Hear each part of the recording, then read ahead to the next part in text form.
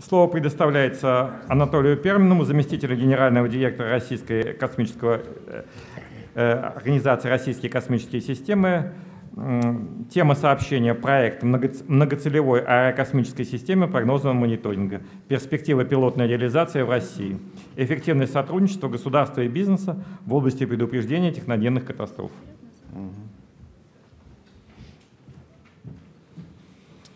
Уважаемый Георгий Геннадьевич, уважаемые коллеги, э, значит, действительно, новейшая история подтвердила, что последствия техногенных катастроф могут достигать значительных масштабов, а будучи инициированы природными стихийными бедствиями, приводить к ежегодным многотысячным человеческим жертвам и колоссальному экономическому ущербу.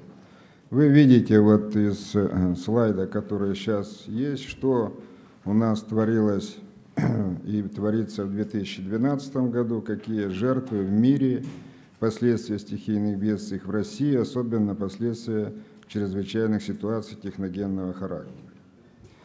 Не подлежит сомнению и тот факт, что широкое внедрение космических технологий в решение задач предупреждения и ликвидации природных и техногенных катастроф приобретает для России неприходящее значение – по мнению руководства страны, если мы сегодня пока не можем предотвратить масштабное стихийное бедствие техногенной аварии, то должны быть в состоянии их прогнозировать.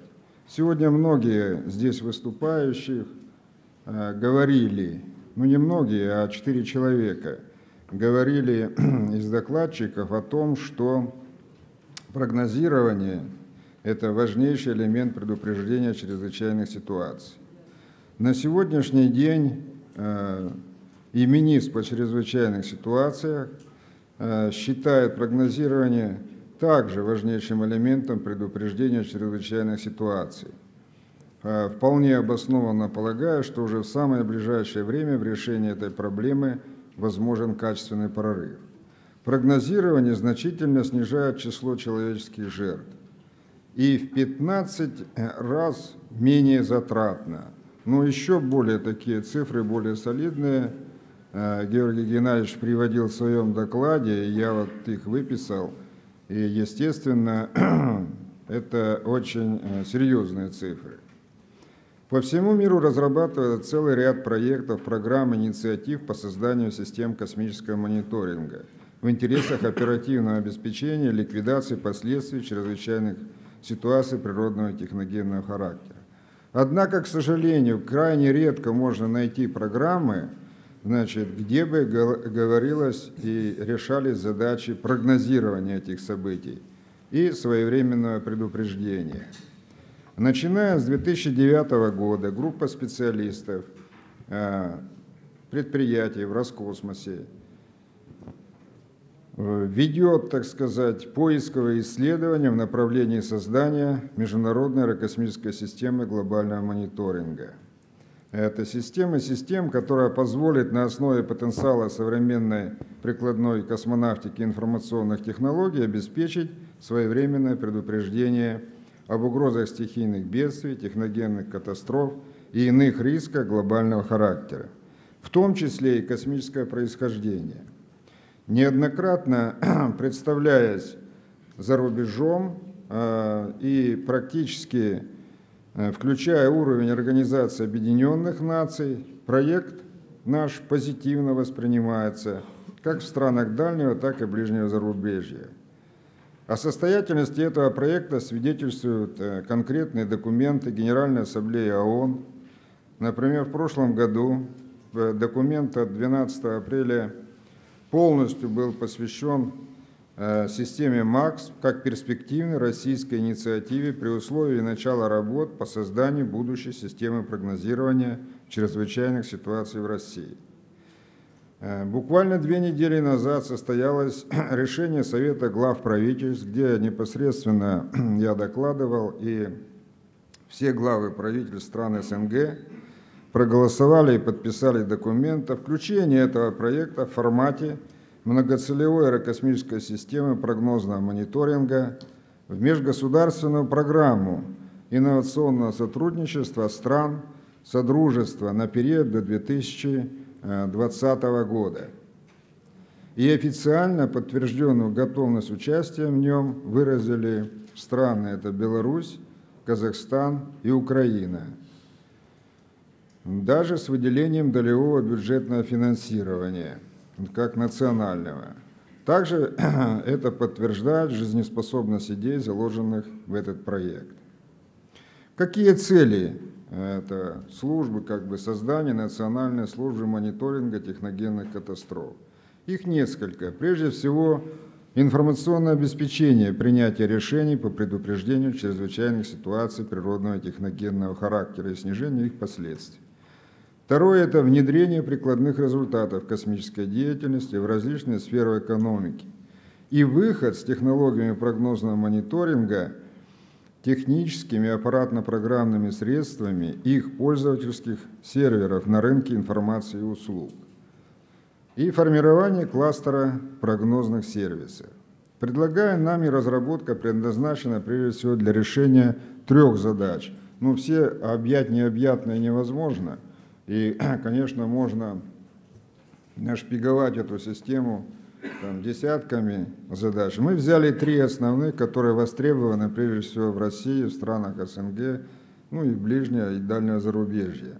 Первое – это краткосрочное прогнозирование сильных, сильных, повторяю, землетрясений э, мощностью от 6,5 и выше. Второе – это оповещение об угрозах э, возникновения природных пожаров и наводнений. Третье – это оперативного контроля состояния критически важных объектов, технических в первую очередь. Учитывая всю возрастающую актуальность глобальной проблематики астероидно-метеоритной опасности, космического мусора и факторов космической погоды, можно было бы в рамках нашей версии оценить реализуемость на сегодняшний день отечественных подходов к решению этой задачи предупреждения об угрозах космического происхождения. О возможности решения первой задачи.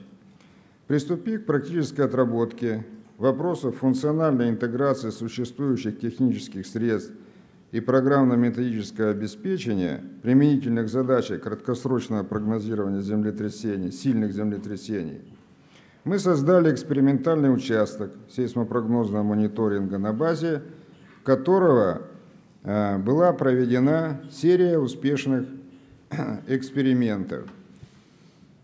В Курило-Камчатской, Сахалинской и Японской сейсмических э, зонах, результаты которых в виде оправдавшихся, вот вы видите на слайде, вот это перечень, значит, с мая месяца по декабрь оправдавшихся Э, прогнозных, краткосрочных прогнозов сильных землетрясений.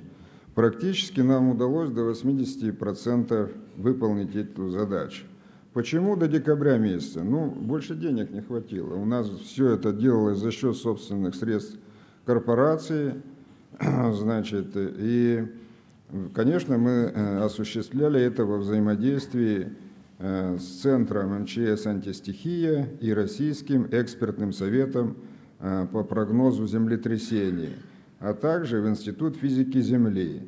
Левая часть вот этой прогноза, вы видите, мы выдавали официально шифров... Э, телеграммами специальными э, в эти учреждения, а правая часть – реальное подтверждение. Послед... Последним стал прогноз недавнего землетрясения в Охотском море 24 мая нынешнего года – которое, как вы знаете, ощущалось даже в Москве. Таким образом, а, полученные программно-методические и а, значит, э, алгоритмические наработки, оформленные в виде ГИС-портала сейсмопрогнозного мониторинга, вот он представлен вам на этом слайде, становится таким серьезным дополнением к потенциалу профильных учреждений Российской Академии Наук, таких как Координационный прогностический центр Института физики Земли э, РАН и Камчатский филиал геофизической службы. Именно с этой целью мы месяц назад вышли в Президиум Российской Академии Наук с инициативой создания на базе Камчатского филиала Российского экспертного совета по прогнозу землетрясений экспериментальной наземно-космической системы краткосрочного сейсмопрогнозного мониторинга Дальневосточного региона. Можно ли в других частях нашей страны, ближнего зарубежья выполнять? Можно, при наличии соответствующих финансовых средств и при наличии э, специалистов, которые могут э, работать по этому направлению. Вторая задача. Задача оповещения об угрозах возникновения природных пожаров и наводнений. Можно решить на основе комплексного использования информации дистанционного зондирования Земли, данных наземных авиационных наблюдений. Здесь Георгий Геннадьевич сетовал, ну и правильно абсолютно. Ну, сейчас уже не один, а три, Георгий Геннадьевич, на орбите спутника, наконец-то.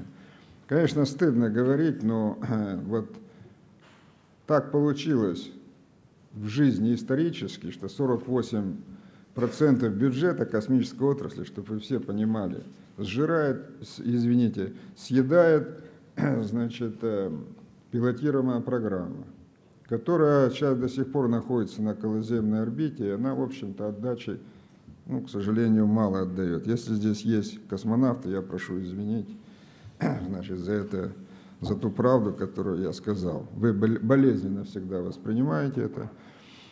Поэтому у нас такие вопросы, как создание специальных спутников, которые работали бы по прогнозным вариантам стихийных бедствий, чрезвычайных ситуаций и так далее крайними. Поэтому мы, но вот в наших системах это как бы не особо и требуется, потому что мы имеем право, и сейчас, так как мы участвуем во многих международных организациях по прогнозированию, то мы бесплатно пользуемся этой информацией, качаем с других иностранных космических аппаратов.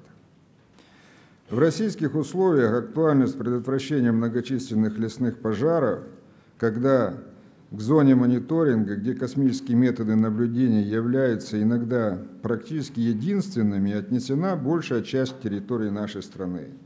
И поэтому потенциал, создаваемый под системы, приобретает очень ну, неприходящее значение.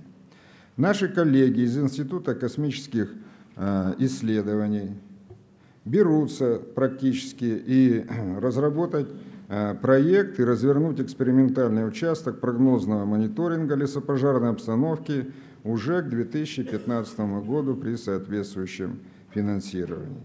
Задача прогнозирования паводков и наводнений также может быть решена с использованием существующих научно-методических и предпроектных э, разработок. Обидно, когда, конечно, идут наводнения каждый год, в одном и том же месте, к примеру, в Якутии, заранее зная, можно спрогнозировать, когда она будет, как она будет, какие будут селения затоплены, да. И на эту сумму один раз в год нужно будет отработать русло реки Лена. Но это выгодно только жителям там проживающим. Всем остальным структурам это невыгодно, потому что во времена Советского Союза работала землечерпалка, углубляли русло, таких наводнений не было. Кто здесь с Академии наук прекрасно знает это. Сейчас это ничего не производится. Зато каждый год выделяются деньги соответствующим министерствам и ведомствам на ликвидацию наводнения и тому подобное. Третья задача.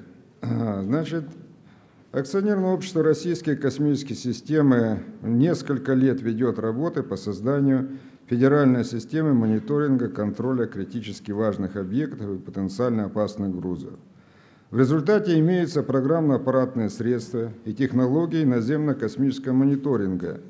Используется по целевому назначению головной участок отраслевой системы Роскосмоса – Начата опытная эксплуатация пилотной версии аналогичной региональной структуры в Калужской области. Тем самым э, создан практически весь необходимый задел для реализации подсистемы контроля критически важных объектов в составе пилотной версии.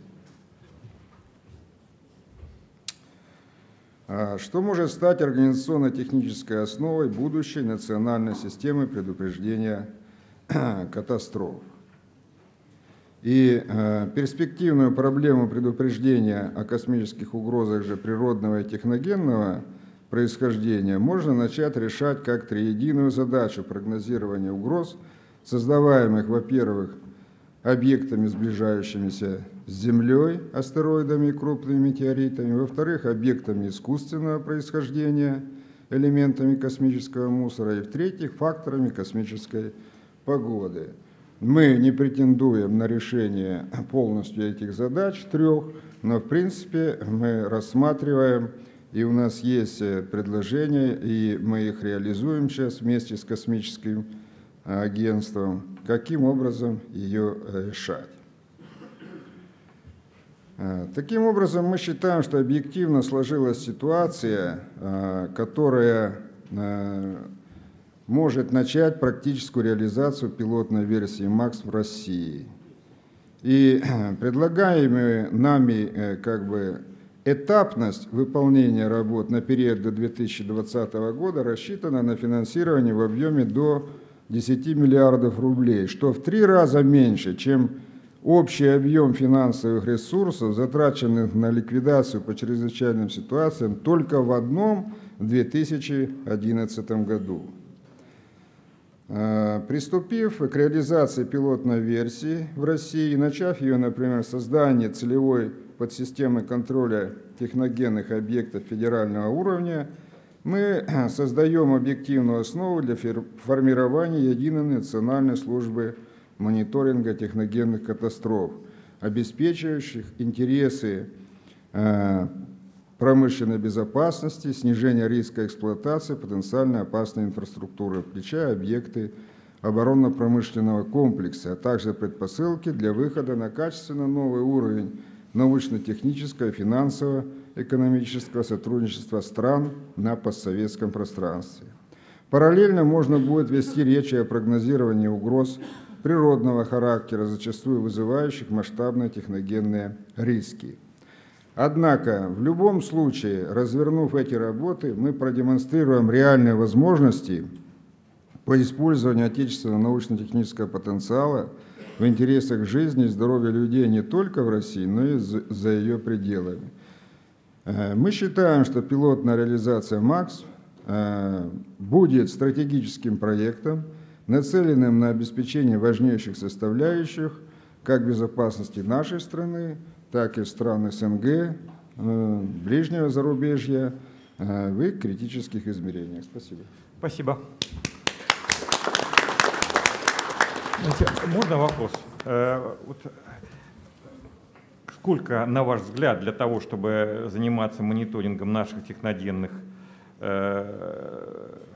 опасных объектов, и особо опасных объектов, и основного блока наших природных рисков, сколько аппаратов нам нужно. Вопрос связан с тем, что, как я понимаю, каждый аппарат это стоит примерно 20 миллионов долларов, 15 миллионов запуск, а главное 6 лет изготовления, как говорят в Красноярске. Э, э, Георгий Геннадьевич, нам, э, так как эта система, ну вот вы мне тут написали бумажку, я не успел, Э, более раскрыть. Значит, э, она сейчас на сегодняшний день уже создан экспериментальный участок. Система, там в основном применяется система ГЛОНАСС. ГЛОНАСС. Система ГЛОНАСС полностью развернута группировка, нам не нужно никаких аппаратов. И на существующих, и на ГЛОНАСС-К, которые будут, значит, информация будет поступать. Что касается системы ДЗЗ, ну вот э, мы можем работать как с объектами как с космическими аппаратами военного назначения, использовать, ну, неделю назад, несколько дней, вернее, три дня назад запустили этот аппарат. Я надеюсь, что он через месяц войдет в эксплуатацию.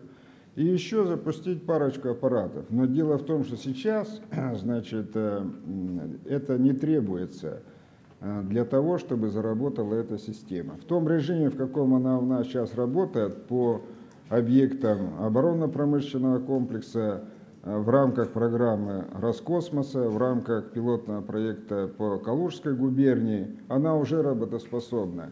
Э, вот отличие от тех э, задач, я которые перечислял, которые нужно будет решать и развивать, начиная с создания системного проекта и далее, вот здесь не нужен даже системный проект, потому что было в 2005 году постановление правительства, которое затвердило уже облик системы, был разработан системный проект, он, начал, начал работать, и на сегодняшний день необходимо обновить только это постановление правительства, я считаю, дальше обеспечить финансирование минимально, и он сразу же через буквально несколько месяцев начинает работать. Понятно. То есть не нужно вот это... Понятно. Шести лет не ждать не надо. Да, и окры не надо никакой. Понятно. Нужно просто... Это, собственно, ценно. Это вот, вот это направление в нашем как бы, большом проекте, оно самое проработанное, э, значит, ну, в общем-то, уже э, практически реализуемо и Понятно. реализуется сейчас.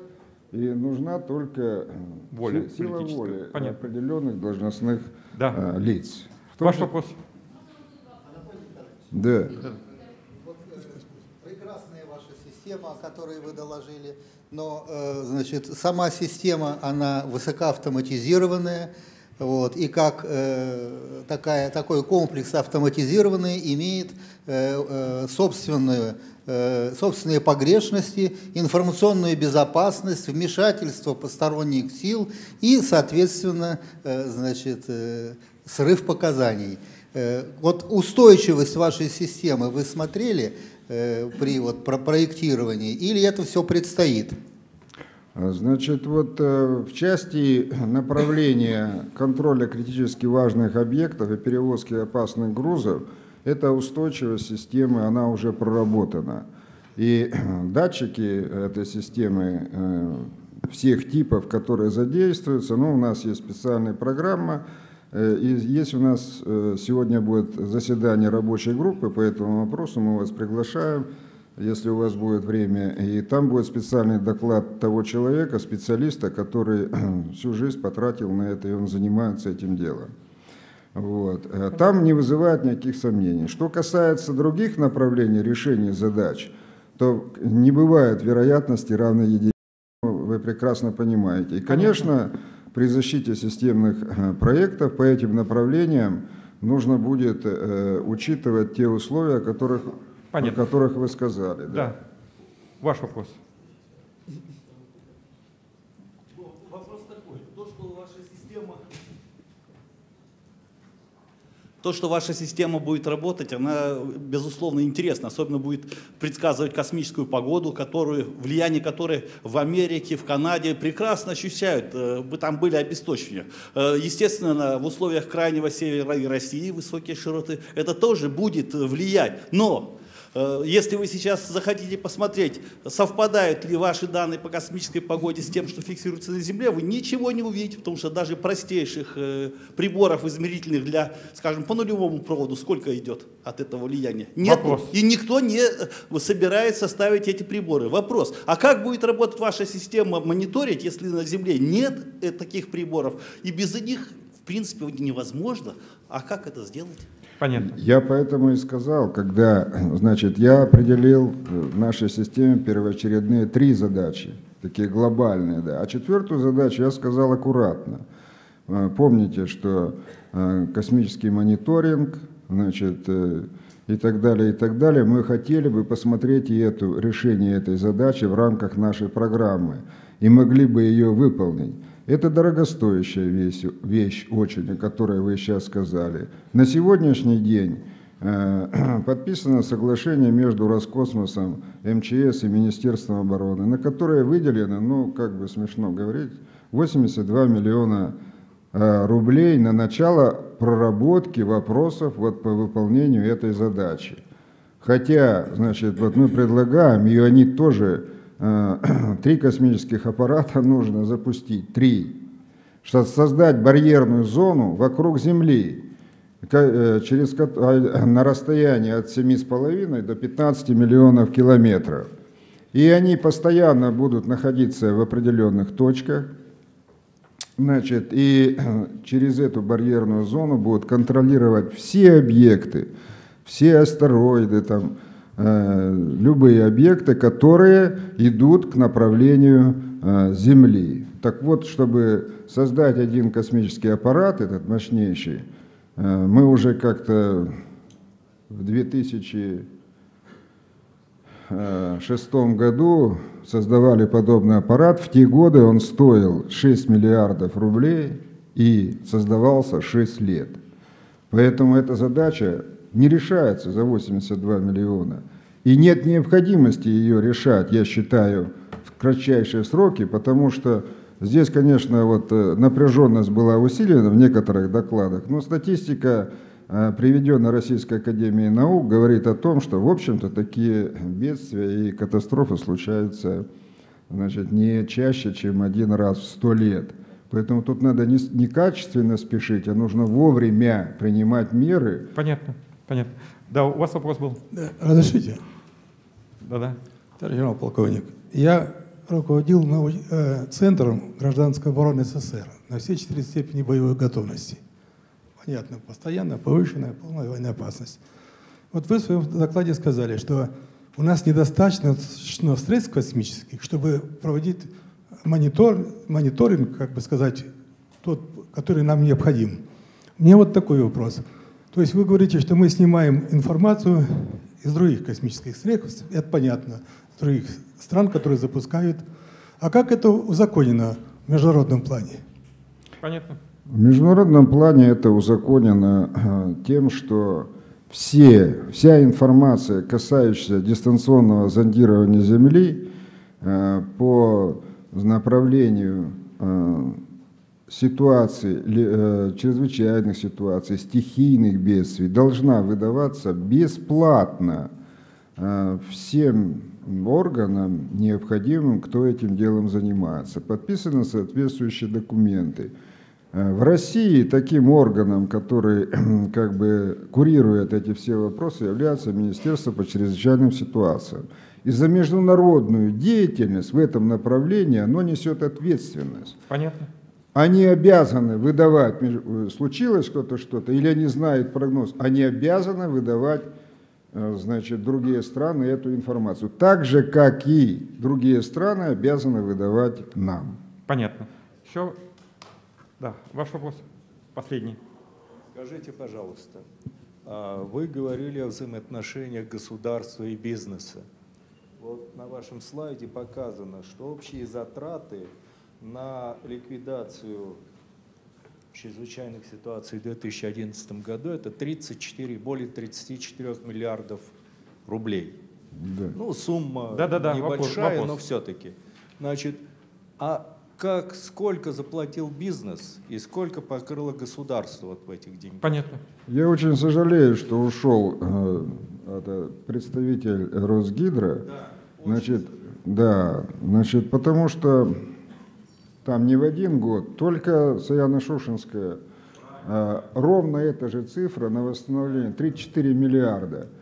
Я не особо э, знаю, значит, кто там бизнес, как у них э, оплачивал, да, и, и госу- и государство. Но, к сожалению, в нашей стране сейчас в основном расплачивается государство. Понятно. Спасибо.